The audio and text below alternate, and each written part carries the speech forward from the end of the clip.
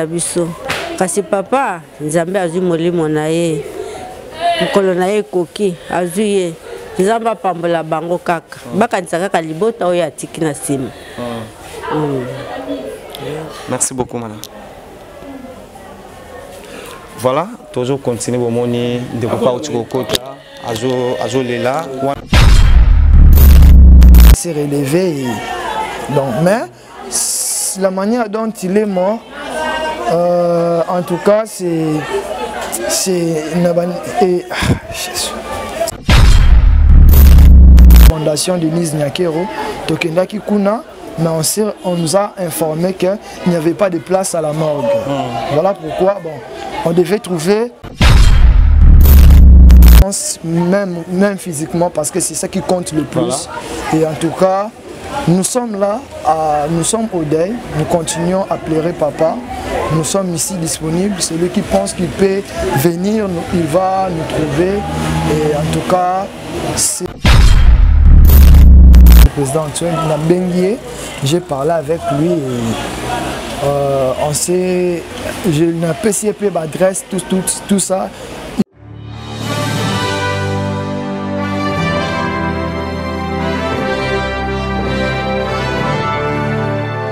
Bonjour, bonsoir, soyez les bienvenus partout au monde. C'est votre frère Dieu, merci Madinga. Comme on dit, actualité nous oblige.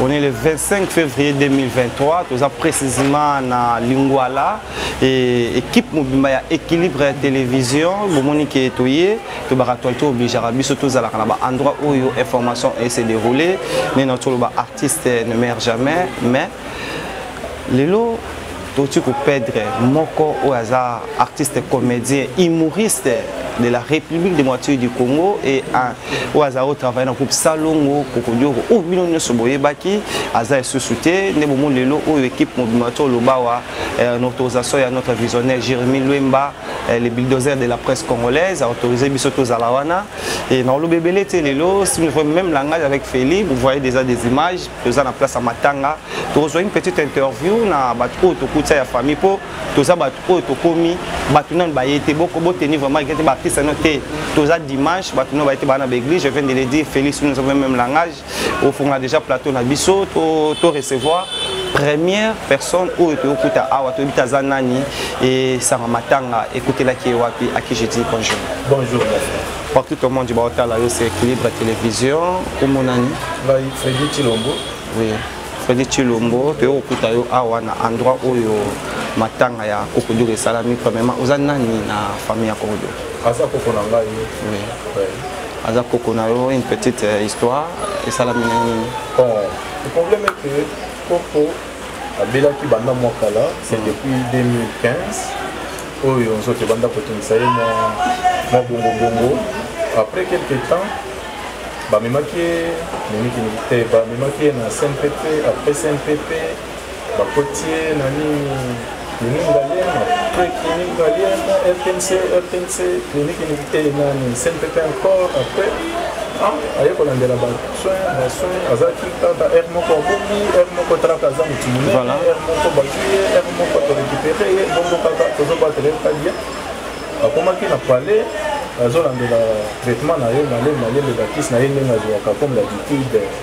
bakisi mpo azala na mpe calme babi wana tolali ka boleti vers une heure tozokoka kaka baye kobenga biso abolamuka bolamuka awa me tozokoka koko na bino moyen eza te auti kotika biso koko atiki biso toke boye okuti bamédecin wana bazotala bazotala bango kote donc ake na ye na nini na se ya pongi salimaki bongo apartir ya lobi esalami lobi na se ya pongi ya kotika biso ezali ezali na ba heure nini une heure du matin donc une heure du matin ya lelo ya lelo ya lelo oui lelo bato ebele balobi akufeli awa na place tozali ou bien bino mpe boyoki kaka sango lokola biso akufeli awa na awa place totala lopango oyo place tozali akufeli ndako na ye place alala eza moko Hmm. donc euh, lelo oyo ndenge bato mosusu balobaki ke kokodioka akufeli na balabala azalaki su na ndako te toi tu confirme aujourd'hui de le dire qu'elle était ici feli na balabala te biso fami tozali kufi na miso ya bamédecin bamédecin babanda kotraite biso fami tobanda kosala te bobandi kosala tu lelo bato ebele bayotala yo bato ebele oyo otombola mpena voi realisateur asala biso otombola voi bato ebele bazotala yo il y a des gens ils sont interprétés déjà ouais, ouais. et aza boye aza boye mais tu viens de confirmer il était ici et nous avons vu même euh, parcelle oyo ndako ye azalaki olala mais lelo ntango baartiste comédien baotala yo e bakonzi bazotala yo partout au monde bafanatique ya cinéma congolaise bazotala yo qu'est ce que nous pouvons retenir comme message lelo artiste aza esusu te e okoloba nini bon oyebi problème ya mboka na biso bakonzi mingi mingi bato basala makambo ya bien bayaka kotala bango na nsima omoni kokodi okatungisanaki mwa mingi epuis azalaki na problème ya sante banda bwa kala wana mais abandaki bazobelela à un moment nani fiston saisa ye ayaki awa bamemaki ye bake na ye na nani na cnpp mwana okotombola voix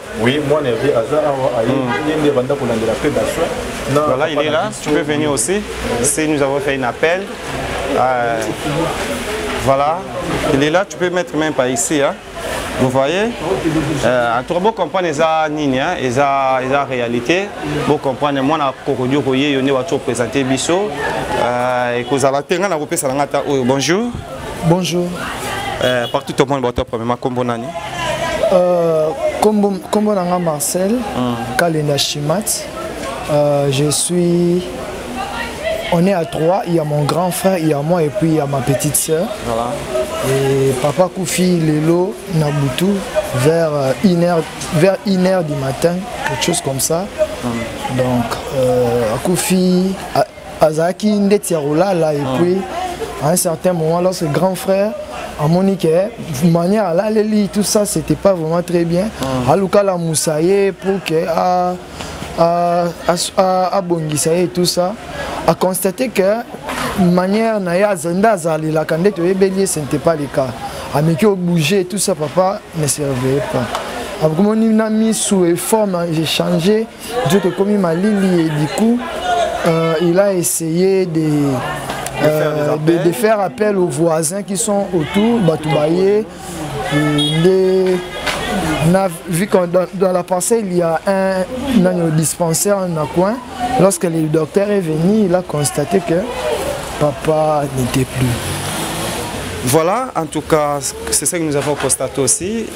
lelo oyo baartiste toye awa non tomoni artiste te papa kofai depuis une heure du matin se bozwi déjà visite ya baartiste comédien oyo déjà ou bacomédienne oyo déjà baye awa kotala eh, endroit oyo ndeko na bango akufeli mpo toyebi azali mpe na groupe salongo en derrière bagroupe mosusu oyo ye mpe alekileki na ce que nous appelons de nzonzing ah, bacollègue nesi baye bon euh, jusque là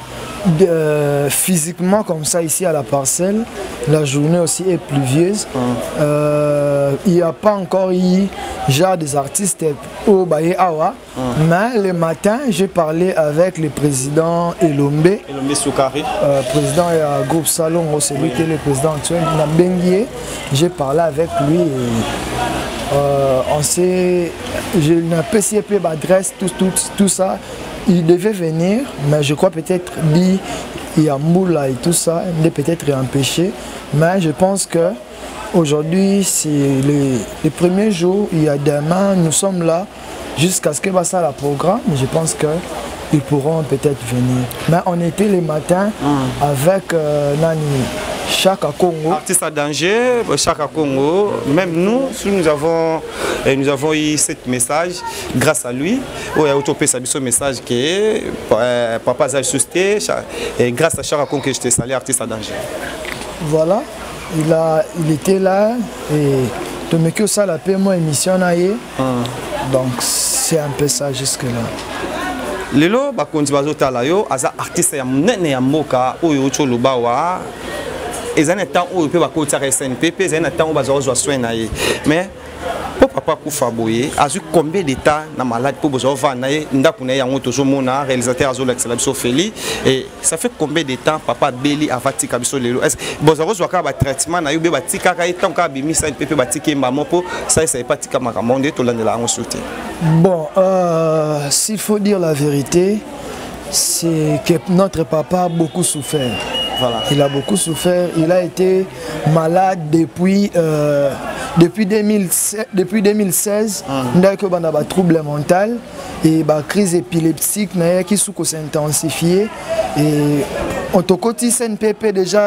trois va bah, entrer aller-retour trois fois hmm. tokendaki pour la première fois sali réchise tobimi pour la première fois on était accompagné par l'artiste Saï Saï, voilà. lui qui nous, nous prenait en charge par rapport à certaines choses hmm. toyaki Bima pour la deuxième fois c'était avec euh, les moyens de la famille et d'autres personnes, Yamouté Mamalam, qui mm. nous aidaient et tout ça. Et pour la troisième fois, c'était, euh, nous étions soutenus par la, nous étions pris en charge par la fondation Denise Nyakero. Mm. Et c'est grâce à, la fondation que papa Azaki vraiment pris en charge et Tobima qui nous tente Tobima hôpital, Tosomi Nandaku, malgré qu'on était à la maison. euh, vu que la fondation bazwaki résolution vraiment ya poursuivre batraitement jusqu'à ce que papa a se rétabli, a se rétabli. Ah. Euh, la fondation pour chaque mois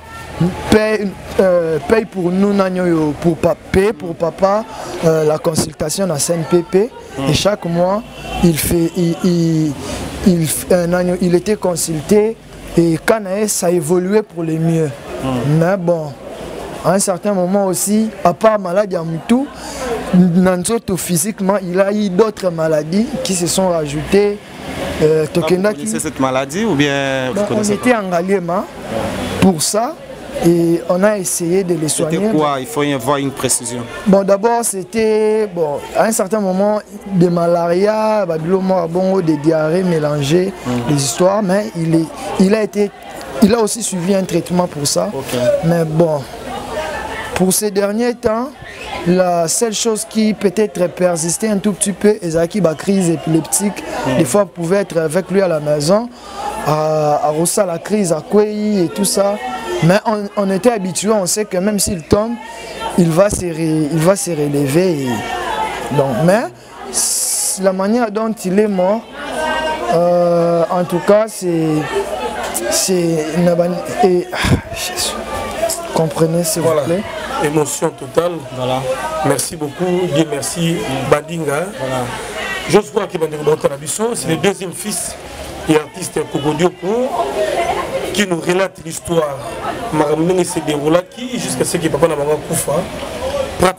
Moi na se ya pongi, na se ya sommeil, papa Kei, pe ya sona mukokodioko, là nous sommes en famille.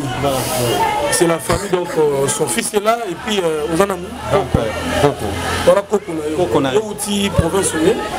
Oui, na outi province na yo. Mais nazala awa, nazala awa. Ozala déjà. Auta province, il faut bien dire. Oyo bato quartier ntango yo ozoloba bazo réagir mosika yo ebi likolo beloko te yo ye koya C'est dit par rapport à nous. Ah bon, bango bazala nde motungisi bongo baza na réalité koleka ngai te hmm. eh, ngai nde moto naza na réalité parce que navandi na ye esika moko banda malade kokenda bahôpital kokendaka bisika nyonso toyebi bango baza na bango oyebika bana basoda ndenge bazala hmm, akoza ah, nolo ya kalufungula eh, oui toza nolo na kalufungula hmm. eh. alors est ce que na badernier temps na ye kokodoko azali su koreconnaitre bato est-ce que bozo solo pena na famille abengo pena na kombo na yo obengi payer oui oui oui oui okoki kobanda koyeba mpe bato soki oke boye mwa eloko ya kolia soki ezali sombela ngai ji sala boye sala boye nyonso wana banda koreconnaitre soko cause mpena ya trouble ya mental na dépression ezalaka nini oyo tobengaka liboma oyo ya beli tomonaka basaisai bashaka kongo basoutenir ye cause ya maladi ezalaka nini Ah, bon, cause wana wana ezalaki pena façon bamédecin babanda kopesela yango bato to babanda kotala yango mais problème biso oyo toyebaki ezalaki kaka ya motu après epilepsie mpe eye kokotela yango na kati ti lelo en tout cas ezalaki kaka boye voilà merci toza mpe na ndeko hmm.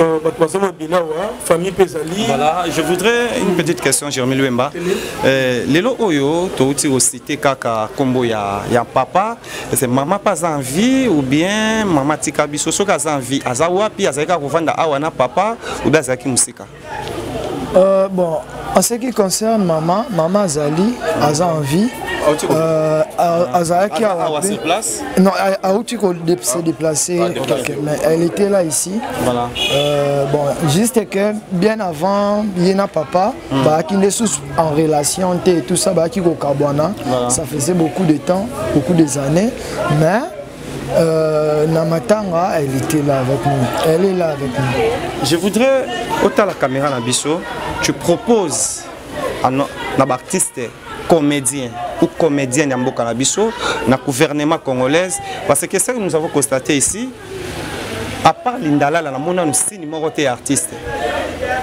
pour moi je peux dire matanga kokodioko minute eza non négligé à part Mboula nde yo défendre wana mais moi je trouve que même si Mboula nous attendons pas ça qu'est-ce que tu peux proposer na ba artiste ANTP so aza présent Massoum de Brinde nous avons Maman Losanjo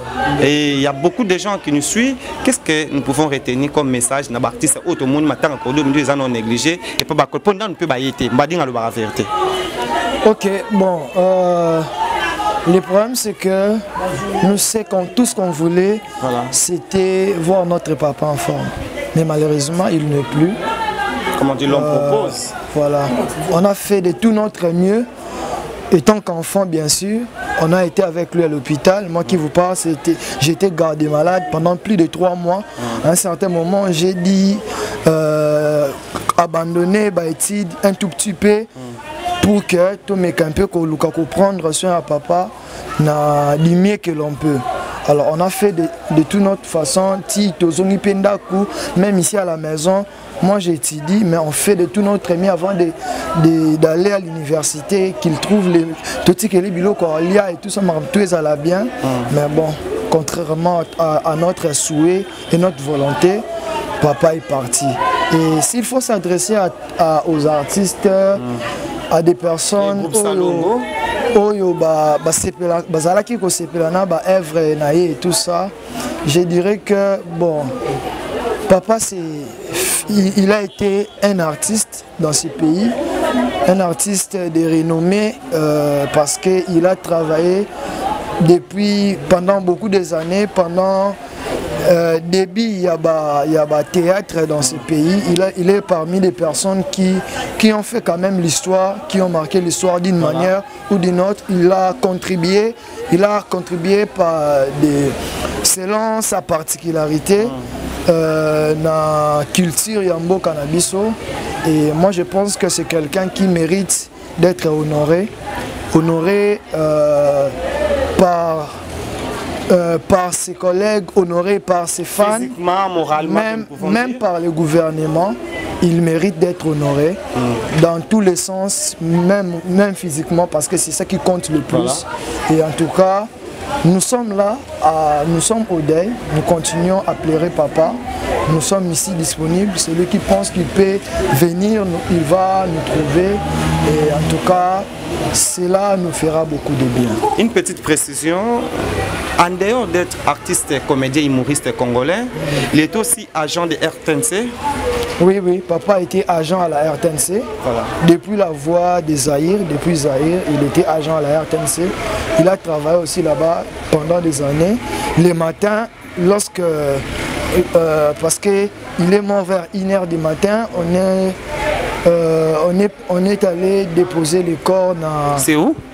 Bon, to, to, initialement, tu pensais qu'il était dans une clinique Ngalema. Parce que c'est là-bas, à un certain moment, qu'il prenait des soins. Voilà. Euh, sous la convention et la fondation de Niz Nyakero, Tokendaki Kuna, mais on, on, nous a informé qu'il n'y avait pas de place à la morgue. Mmh. Voilà pourquoi bon, on devait trouver Nanyo euh, morgue oyo eza non loin ya clinique Ngalema du coup directement to se rendre na clinique kinoise vu que c'est tout près de là mm. et le corps est actuellement na morgue ya clinique kinoise to déposa kango vers 3 h 4 4 heures du matin voilà. et na tongo vers 7h 8h nakendaki na RTNC pour annoncer la nouvelle et j'ai vu qu'aujourd'hui d'abord c'est aussi les dimanches mmh. beaucoup de directions bah, bah, bah, travail na ba service minimum alors j'ai quand même passé les messages et déjà je viens de voir na na page euh, euh, Facebook il y a il y a RTNC, que le message est publié. Hmm. Le message a été publié dans la page à RTNC de manière officielle et on m'a demandé de, rentrer dans Kuna Lobby lundi. Hmm. On ira là-bas euh, voir son directeur parce qu'il travaille dans le service à décoration, voir son directeur et puis euh, voir la, DG si possible. En tout cas, à la Labisso, donc poser ma question yo l'artiste a artiste les l'élo na 1h du matin mais nous avons écouté beaucoup de choses pour l'artiste nous avons eu cette opportunité d'être avec lui, deuxième fils de Kokodioko. Et là où nous allons profiter aussi d'éclaircir les gens, il était coma, il était malade, il était devant nous, comme artiste et comédien, il mourit. Pourquoi je l'ai dit il mourit Parce qu'il était là, Sokazoloba, il faut azaki artiste lokola ba ba ce que nous appelons aujourd'hui euh, papi euh, euh, nani ba ba nani ya presse té ye mpena azalaki wana atanke moto so azoloba eh, ezalaki bien mais je voudrais otala caméra na biso tu parle trop de fondation maman denis nyakeo tu insiste trop à ça qu'il était derrière nous maman olive lemba azotala yo lelo toa na de matanga osenga na gouvernement congolais batika matanga awa place toza ou bien na niveau ya papa balongola matanga awa baluka place moko batya yango tu as le temps de expliquer baopinion na yo je propose c'est pas une obligation si tu veux tu peux peut-être proposer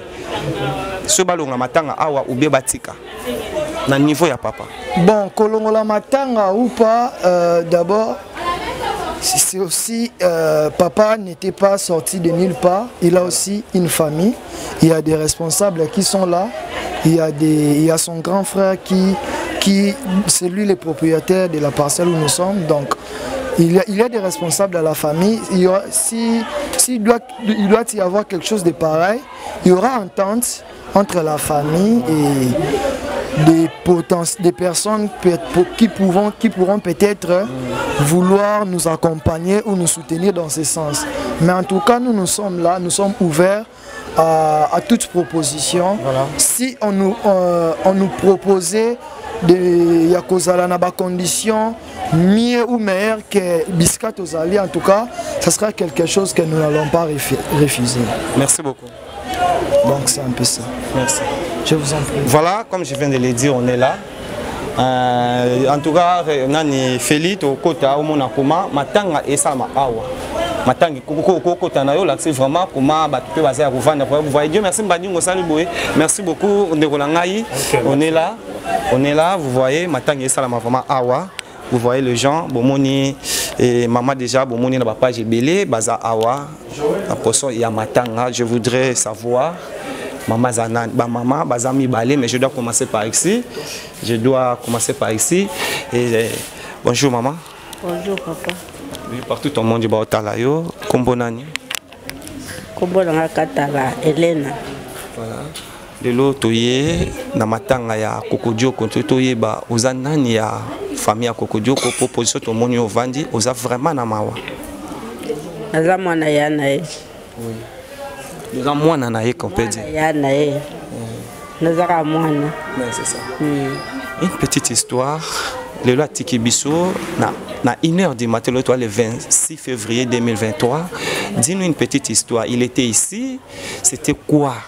nini se passe premièrement et soki akufi yo nde omoneli yaya na ndenge ozalaki papa na yo nini ememi na liwa lelo bon ye azalaki moto ye, ye azalaki moto aza kovanda na ye nde mosusu batrouble ya moto omoni trouble ya moto esali ye mbala moko nde mosusu omona afandi kofanda nazali kofanda wana mokolo mosusu omoni alamuki bien mokolo mosusu mpe akolamuka na ngai bien te omoni kaka azo bien te kaka bongo eh, mais nakobelabelaki azokotikoti na bacampus kuna ti eh, akoti na bacampus wana ti akomona ayoki malamu bazongisi ye na ndako akoti bazongisi ye na ndako akoti bazongisi ye na ndako me ya tour oyo bakomelaki kaka bakisi nde amelaka sikoyo tovandaki na ndako tosi tolali hmm. eh, asali kaka namoni deux jours azobima libanda tengabi ah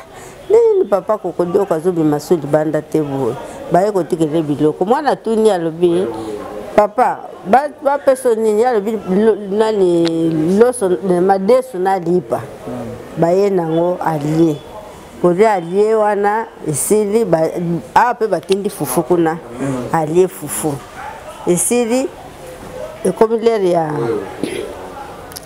ekomi lere ya na babutu wana tosi tolalaki tolali toyoka kaka balobi omwana ye kolamusa ngai o oh, yaka tala yaka tala yaka yaka nani otala papa nazomona ye normal te ngabi ah na butu wana ba iner wana ah nafungoli porte oyo azalaki moto akokweya amoni azokweya bazoladiere ah, azala soki akwei boye omoni ere moko azongi ah, esili nango mpe aye moko atelemi avandi ngai na kasi nde mosusu ezosala ebongo ntango nakoti natali ngabi te papa aza susu te papa saki te tobandi kolela wana si nous avons bien compris heure oyo remarqué papa azobouge te eza une heure du matin mais normalement heure oyo kokodioka kufi bato bayebi te kokoza ba 0 heure là nous to imaginer hein. na uti kolanda ba dire na yo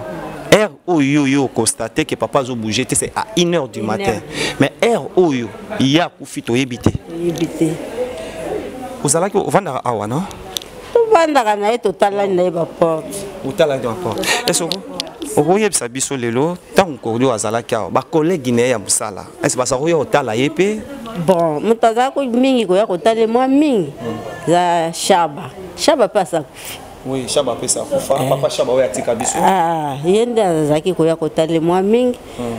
ya kozwa nani yango ya kozwa papa shako shako shaka kongo artiste ya danger Ah, ye nde azalaki ya koma kotale mingi lobi mpe azalaki ame akomaki na ndako te voilà lobi kaka na ntongo abengi na telefone na ngai ngabi "Ah, wana nani abinga shaka kongo nde nini Eh, kokodioko aza wana ngabi te kokodioko asa akufi baketike na morgue Hmm.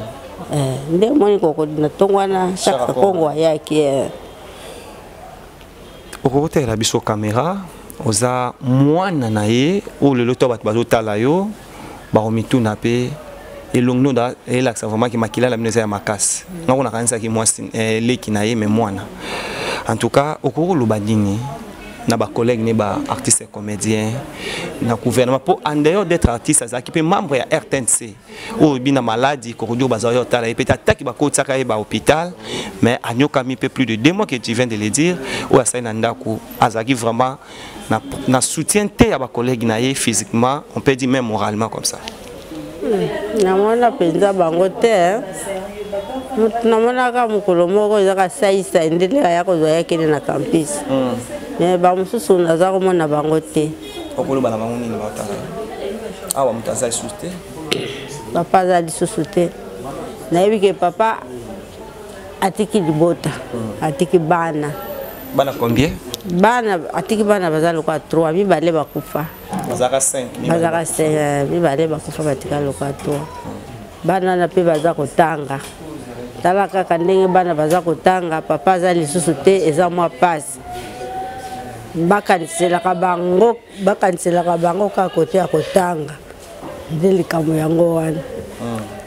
hmm. mama denise mama denise oyo mpe lelo apa kotanga saisa ye mama denise oyo asungi mpe fondation na ye selo mwana ya, ya artiste auti koloba awa asungi bino ntango azotala yo lelo motu oyo azala kosunga azali na besoin abika atiki biso tu peux dire quoi na fondation denise niakero ah.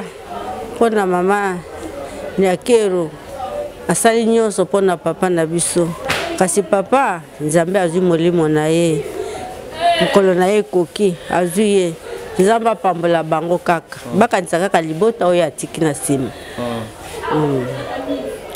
merci beaucoup madame